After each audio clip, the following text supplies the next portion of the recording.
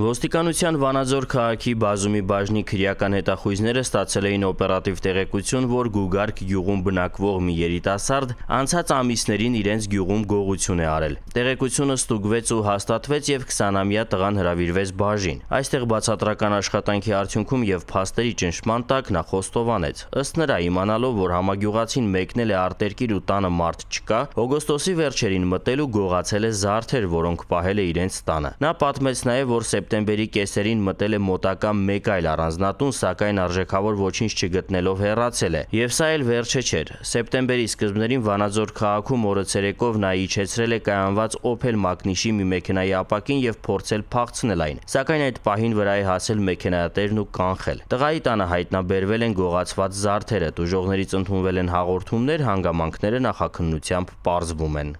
Ծանուցում. Ենթադրյալ հանցանքի մեջ կասկածվողը կամ մեղադրվողը համարվում է անմեղ, քանի դեռ նրա մեղավորությունն ապացուցված չէ Հայաստանի Հանրապետության քրեական դատավարության օրենսգրքով սահմանված կարգով՝ դատարանի օրինական ուժի մեջ մտած դատավճռով։